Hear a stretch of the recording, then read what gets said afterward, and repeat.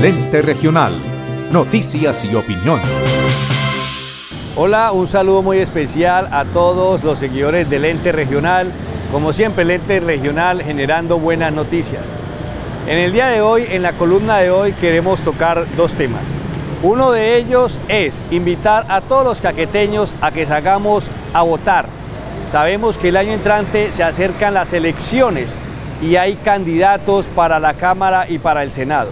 La invitación que le hacemos es que todos hagamos un análisis concienzudo y determinemos cuáles van a ser nuestros representantes aquí en el departamento de Caquetá.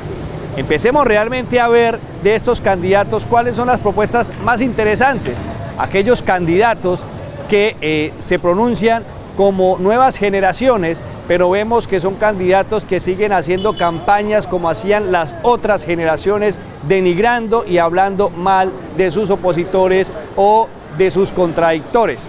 Echémosle un vistazo a eso. Y la nueva generación de hacer política no es aquellos que hablen mal de los demás, es aquellos que nos muestren una propuesta transparente, sincera, que redunde en el beneficio y el desarrollo de nuestro departamento.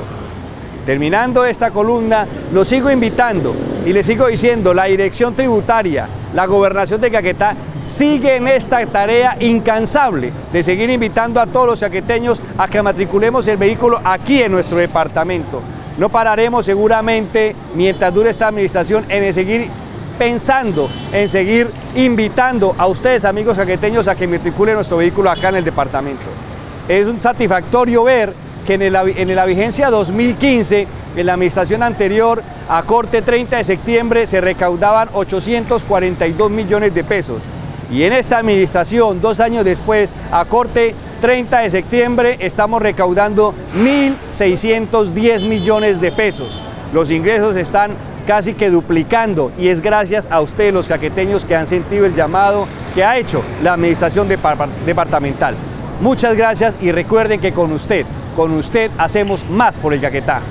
Plato saludable de la familia colombiana.